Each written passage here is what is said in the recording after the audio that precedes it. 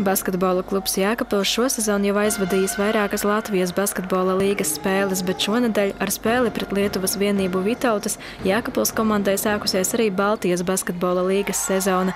Spēle gan neizvērtās veiksmīga, ar rezultātu 67 pret 85 Jēkabilieši zaudēja lietuviešiem. Mēs iekritām dažās stulbās epizodēs aizsardzībā, un pretinieki mūs sodīja, un tāpēc mēs arī, manuprāt, zaudējam šodien šo spēli.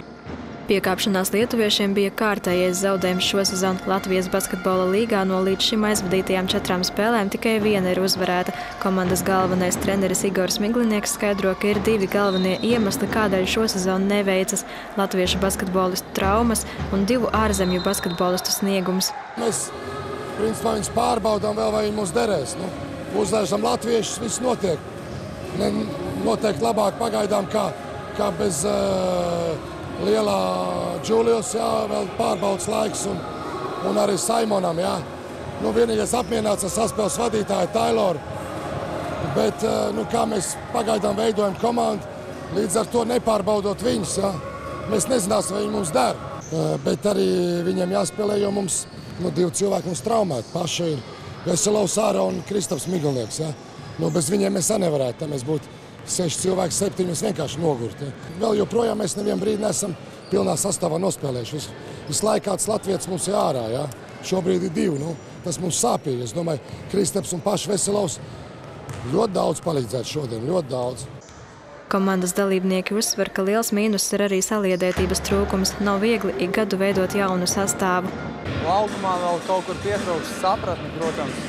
Pusi komandas ir teikt, no jauna. Bet ar katru dienu mēs saprotamies ar vien labāk un uh, soli pa solim es domāju, ka uh, viss būs kārtībā. Jākapils pilsētas pašvaldības izpildu direktors Gunteris Gogulis pauž cerību, ka komanda ar laiku saņemsies.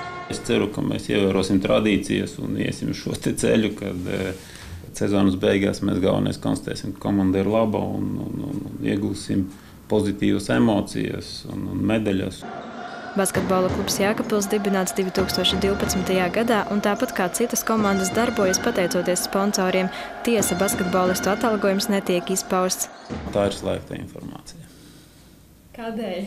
Nu, tāpēc, tas ir nu, jautājums par konkurenci arī starp spēlētāju atlasē. Nu, tur ir daudz visādu jautājumu. Spēlētāju lokus Latvijā ir samērā labu spēlētāju lokus ir ierobežots. Tā informācija, nu, manuprāt, īsti īsti labi nav, kad viņi tur cirkulē. Jo tad saka, ah, jā, viņš varētu strādāt, viņš varētu spēlēt par lielāku naudu vai mazāku. Viņš kaut kas tas tur tik daudz saņem, es arī gribu. Un tad izrādās, ka viņš bija gatavs spēlēt par mazāku, viņš spēlē par lielāku. Atgādinām, ka basketbola klubs Jēkabils Latvijas basketbola līgā 2013. un 2014. gada sezonu beidza godpilnajā trešajā vietā, un arī pagājušajā sezonā Jēkabils komanda Latvijas basketbola līgā izcīnīja bronzu. Sandra Paigļkalne, Kārlis Bukacinskis, Vidusdaugavas televīzija.